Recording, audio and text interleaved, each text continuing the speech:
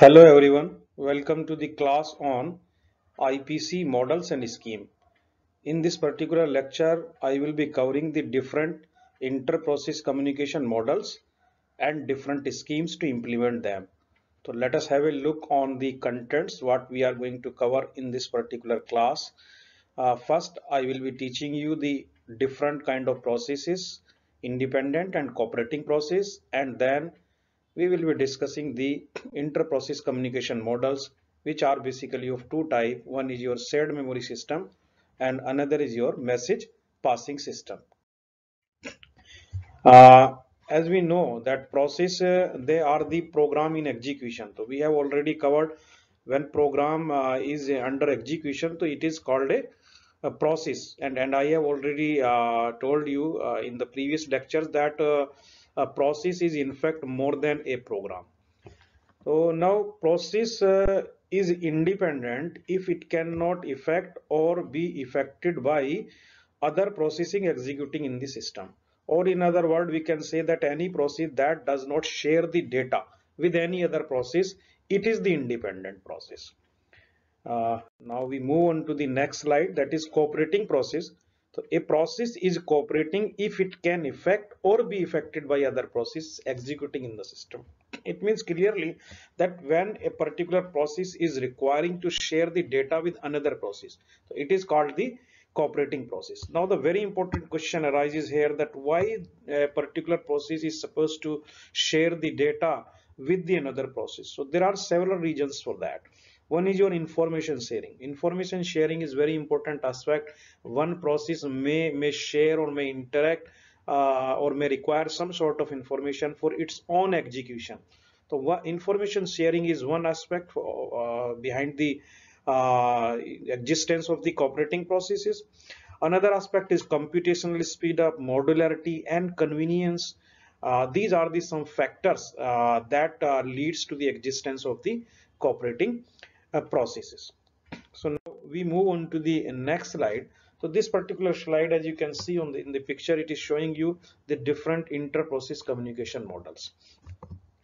So we know that uh, in the just uh, one minute earlier, I was telling you that cooperating process they require the IPC uh, the, in fact they require the uh, communication or sharing the information for different reasons. As i told you because of the information sharing maybe the, because of computational speed up because of modularity and convenience. So cooperating processes uh, they do require an inter-process communication mechanism and that will allow them to exchange the data and the information.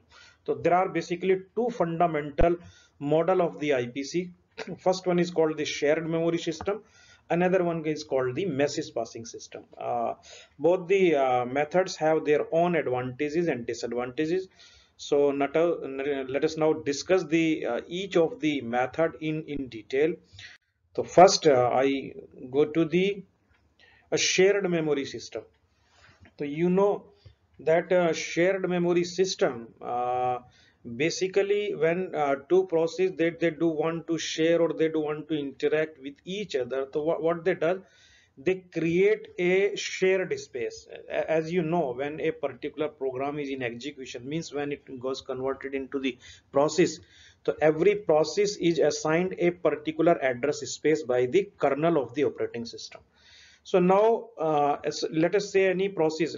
In this particular example let us assume process a wants to share uh, some information with process B, process A can create a region. This is called a shared region.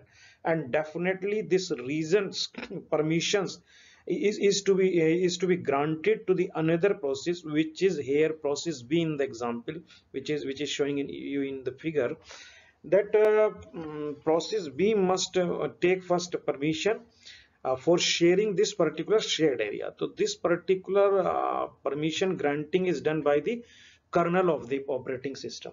So in a nutshell, I can say that in shared memory system, if any two processes that do want to communicate with each other, so what they do first, they do create a shared region between them and then uh, with the help of the kernel uh, they can now uh, establish the shared region.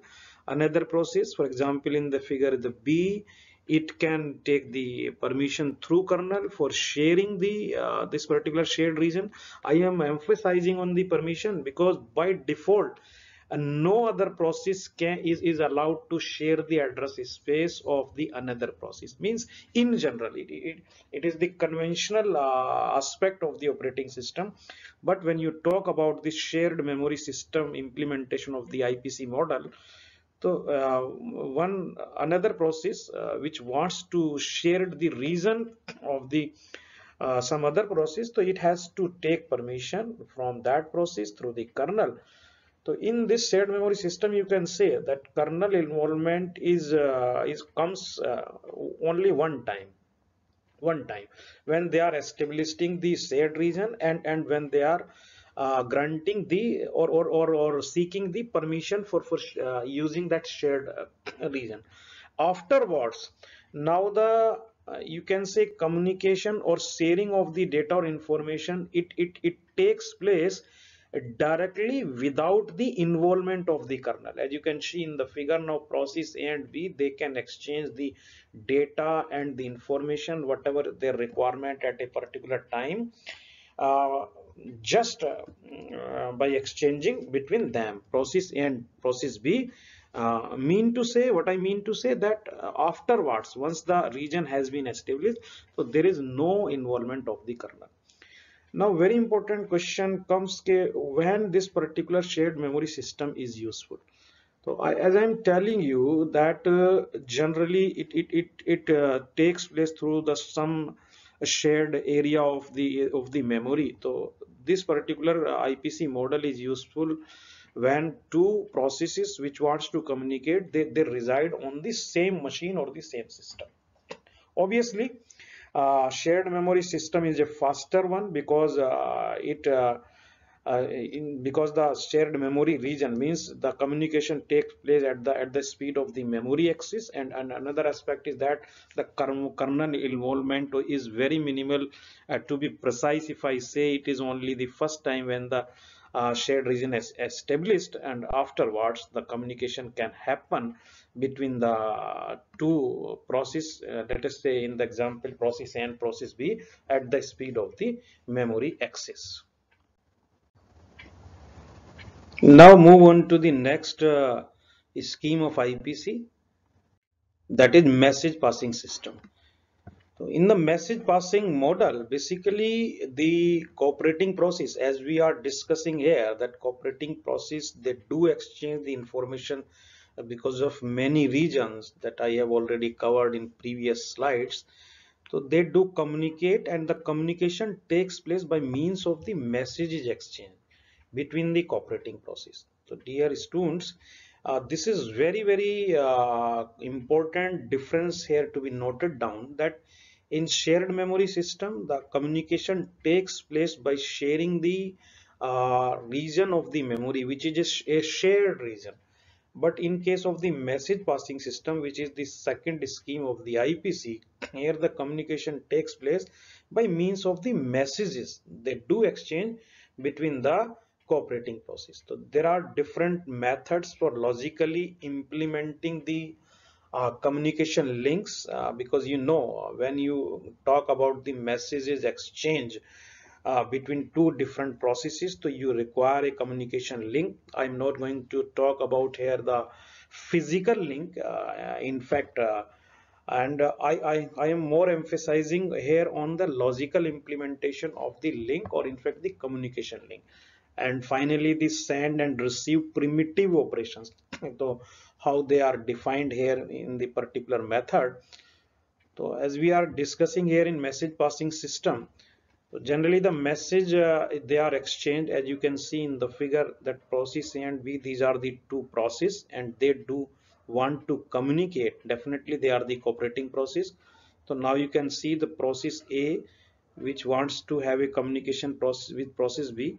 The first process A is sending the message to the kernel and then kernel is now responding to that uh, query to the message B. So now clearly the difference in the previous figure which was the shared memory system and the current one which is the message passing system it is clearly uh, now can be visible from here that in message passing system every time a message exchange is, is established between any two process it always have the intervention of the kernel and this is the major difference between the shared memory system and message passing system.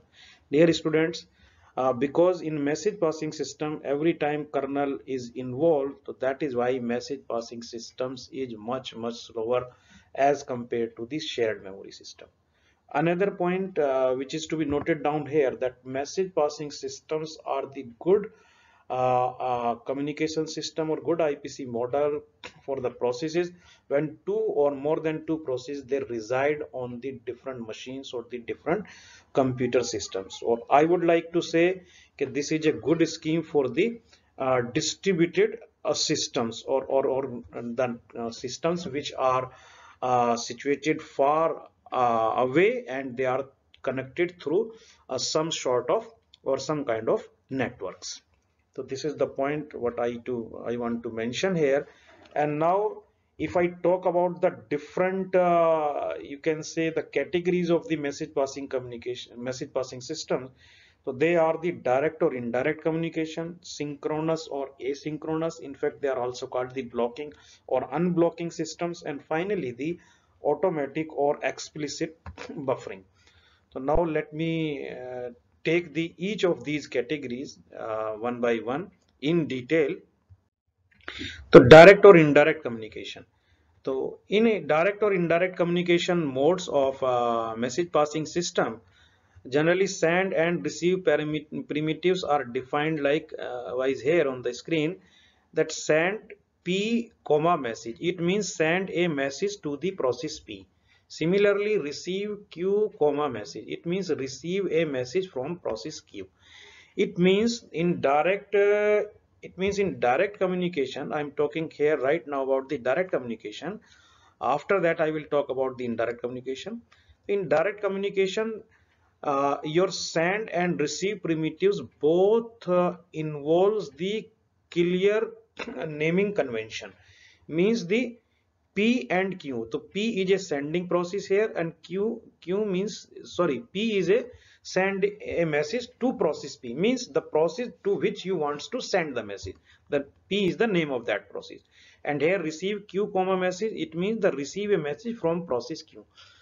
In this direct uh, mode of uh, communication it is mandatory to clearly name the uh, process as you can see in the case of send primitives p and receive in the uh, in, in the receive primitives you can see here q.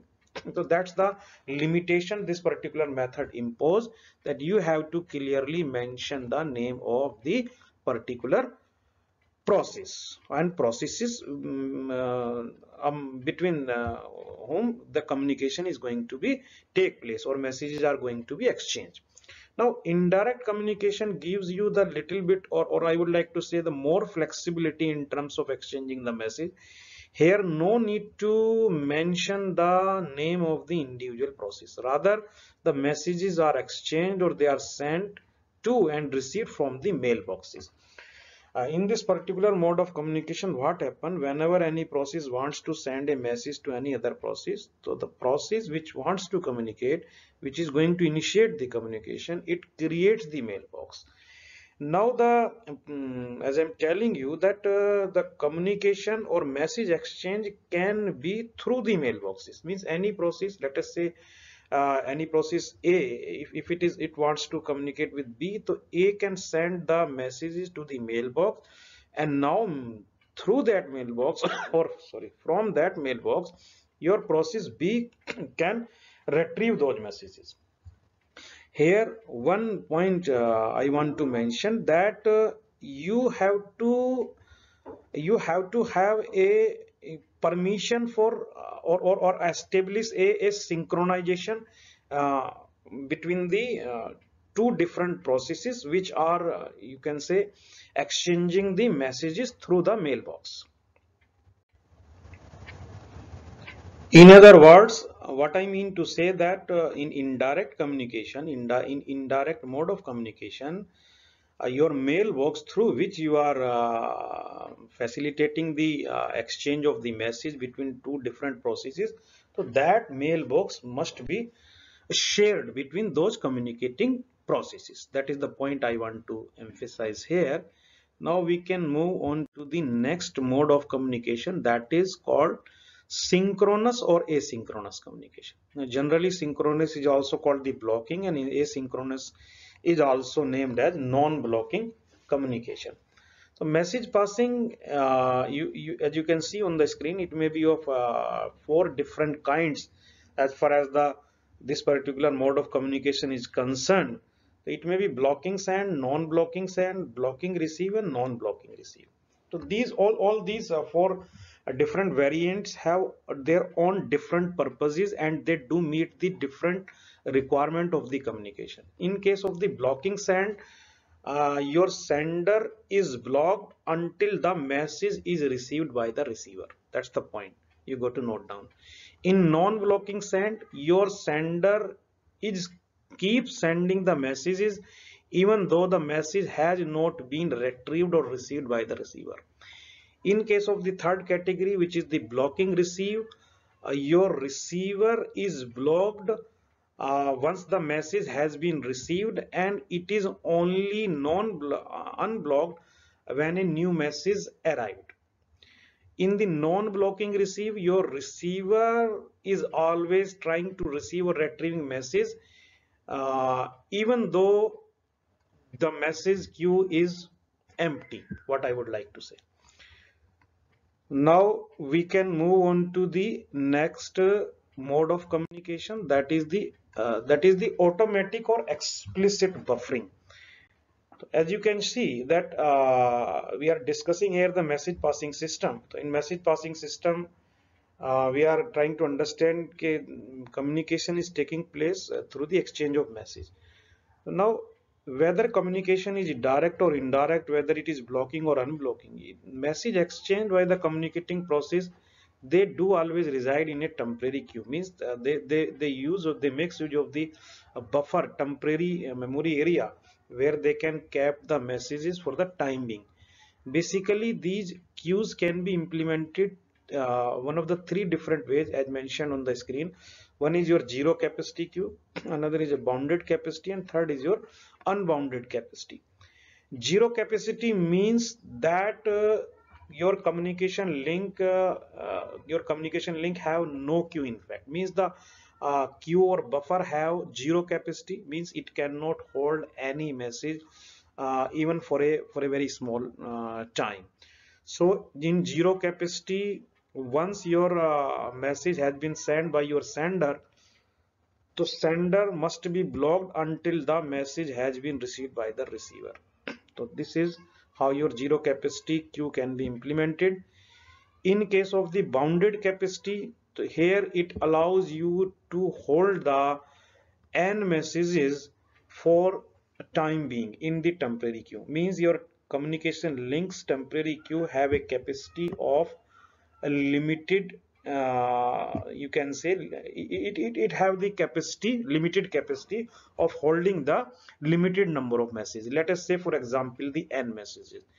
But after that uh, if the your capacity already has been reached to the n messages in the queue then again your sender must be blocked until uh, your messages are received or retrieved by the particular receiver in the system now if i talk about the last uh, mode of uh, this particular uh, buffering or or queue unbounded capacity. So here as the name suggests unbounded capacity means there is no boundation on the number of messages. Those can be reside or those can be hold in the queue for the time being. Definitely it cannot be infinite but yes unbounded means the capacity is very very large. It's a big one. So that what I mean to say here means the large number of messages they can be hold in the temporary queue as far as the unbounded capacity is concerned. So dear all, with this now we comes to an end of the discussion of the IPC inter-process communication model. So just uh, one in one minute I, I, will try to, to summarize what we have discussed. So we have discussed the uh, independent process the cooperating process that we discussed the three different uh, sorry two different modes of uh, your communication uh, shared memory system and message passing system. And in the message passing system we also discuss the three different variant. One is your uh, direct and indirect communication. Second is your synchronous or asynchronous communication. And third is your automatic or explicit buffering. This is the reference uh, from where I, I took these contents to prepare this uh, particular uh, lecture. And thank you so much for your time